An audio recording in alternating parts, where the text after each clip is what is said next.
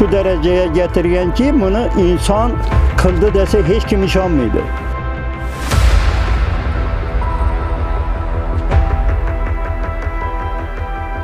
Mana shu ahvoldan, mana jirkanch ahvoldan hammamiz hayrondamiz. Buni tashqaridan kelib hech kim qilmaydi.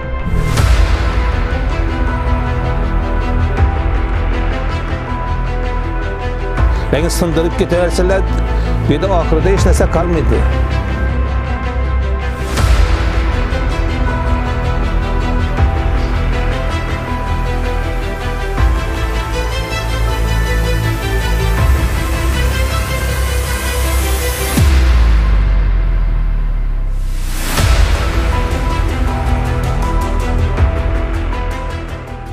Sobiq Duruzba shahri Tuyamoyin gidrostroy tresi faoliyat ko'rsatadigan davrda mana shu yerda istirohat bog'i xalqimiz madaniyatli bir dam olib hordiq chiqarish uchun e, 12 gektardan iborat bog' shakllangan edi. Lekin bu qarovsiz bir nega kelib qolgandan keyin mana tumanimiz tashkil etilish munosabati bilan parkda fuqarolarning dam olish sharoitlarini yaratish uchun fuqarolarning tashabbusi bilan chiroyli bog' shakllandi. Bu yerda xalqimiz dam oladi, hamma sharoit yaratilgan edi. Lekin afsuslar bo'lsinki, mana skameykalari sindirib ketib, e, kechqurun yanadan yoritqichlari sindirib e, shu shu darajaga keltirganki, buni inson qildi desa hech kim ishonmaydi.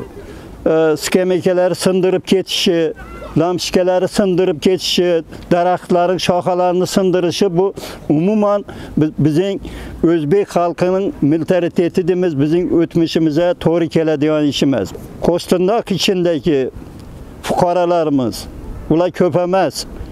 Alloh mana Men insof bersin men shunday odamlara. Shuning uchun xalqimiz befarq bo'lmang, ogoh bo'ling.